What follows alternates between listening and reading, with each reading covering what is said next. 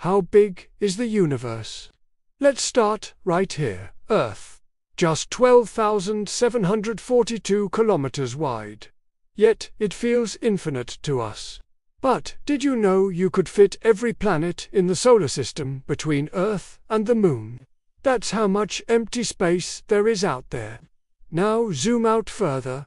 Our Sun is so massive, it could fit a million Earths inside.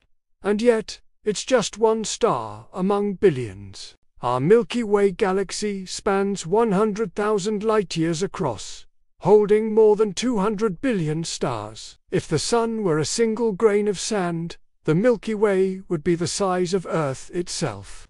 Andromeda, our neighboring galaxy, lies 2.5 million light years away, and it's racing toward us at 400,000 kilometers per hour. Together, thousands of galaxies form the Virgo supercluster, and beyond that, the vast Laniakea, our galactic home, stretching 500 million light years across.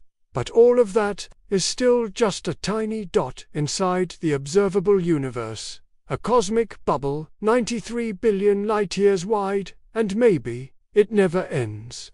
So when you look up at the night sky, remember, every point of light could be a galaxy. Thank you for watching.